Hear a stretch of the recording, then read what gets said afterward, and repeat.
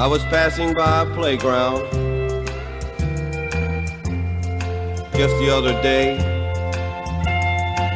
and I spied a little boy sitting all alone while the other kids laughed and played. At once he drew my attention, and when I asked him what was wrong, and in a sad little boy's kind of way, he said, My daddy is in Vietnam.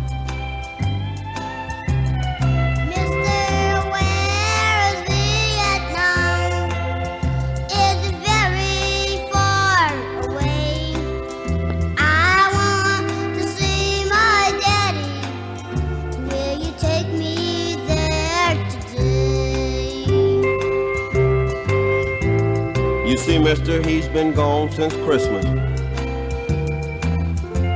Do you think that he's been shot?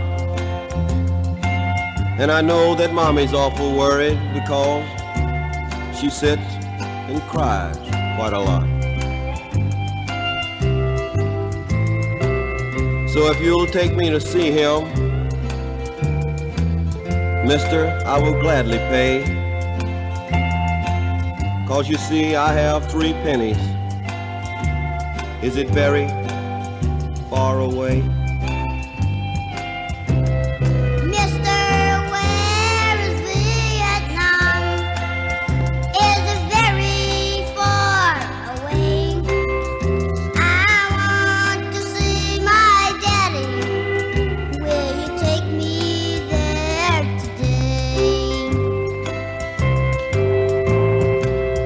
I didn't know what to say to him.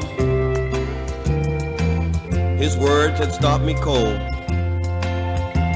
And I knew that this world's troubles was on the shoulders of a little boy not yet four years old.